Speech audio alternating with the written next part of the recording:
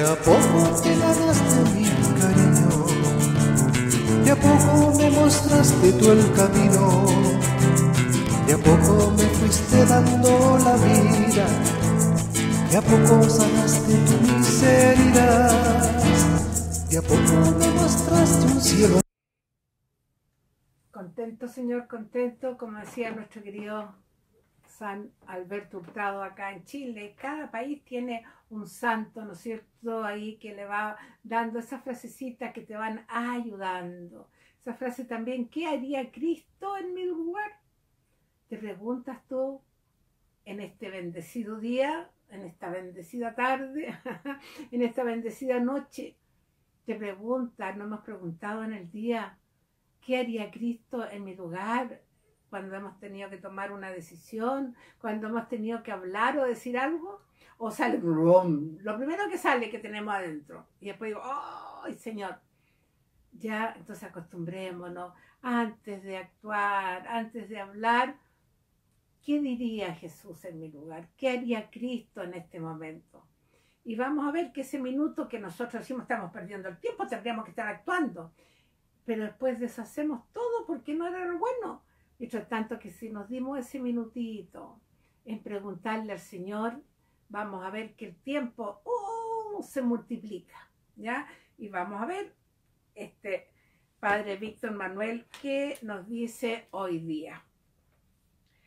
A veces comparamos nuestras tareas con las que las realizan otras personas y entonces nos parece que lo que hacemos tiene poco valor. Acá, hermano, esto es es tan real. Yo siempre le decía a mis alumnos cuando decían, no, yo quiero ser con mi hermano, mi hermano hace esto, mire, este, nunca en una comparación tú vas a salir bien. Siempre comparamos y nos sentimos mal. Siempre. ¿Con quién te tienes que comparar? Nos decía una vez un sacerdote en un retiro. Con la única persona que tienes que compararte es contigo mismo. O sea, me tengo que comparar cómo estuve ayer, cómo, ah, cómo estuve, que lo que hice y compararme estuve mejor, ya lo imito. Hoy si me comparo con la misma situación y no fue muy buena, bueno, ¿qué hago? Como fui yo y no me gustó, mejoro y cambio. Así que, mm. hermanas, hermanos queridos, siempre vas a encontrar que hay personas que te están viendo, que te están remandando y son personas que a veces por envidia te hacen actuar mal, por envidia te meten el palito para que tú reacciones. Así que hermana, hermana querido, nada de estar aquí en comparación. No, no. Y si tú miras, en vez de compararte y decir, mira, lo hace mejor que yo, tiene mejores dones, tiene mejor, perfecto. Yo voy a hacer lo que yo pueda en mi manera de ser y somos diferentes. Dios nos creó diferentes, únicos e irrepetibles. Por lo tanto, no somos una masa que tenemos que actuar. Y todos hoy día el mundo quiere que seamos una masa que nos llevan para allá, que tiremos piedra, tiramos piedra, que vamos para acá, que levantemos esto, que digamos A y digamos B. Y allá vamos a todo lado, ah, B. No, hermano, hermano querido, tú no. Tú eres libre en el Señor para decidir por ti mismo lo que el Señor te ha pedido. Amor, paz, bondad, servicio, unidad. ¿Podemos? Claro, con esta palabra. Esta palabra que me ilumina, esta palabra que me llena, me llena de amor. Esta palabra que me muestra el camino. Esta palabra que hoy día nos dice lo siguiente.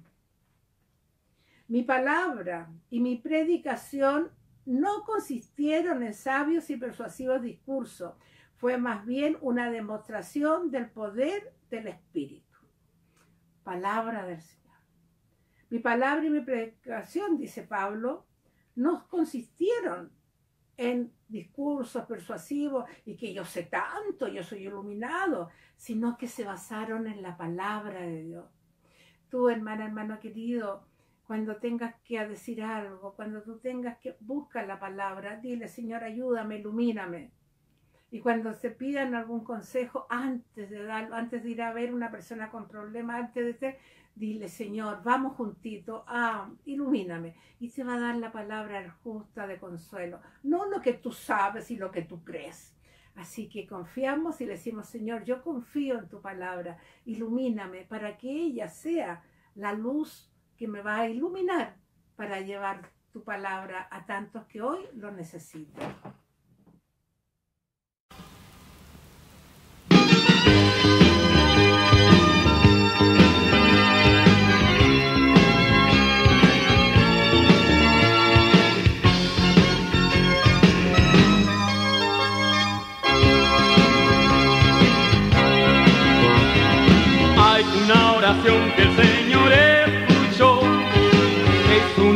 Sabio poco tiempo atrás para que la iglesia pueda caminar.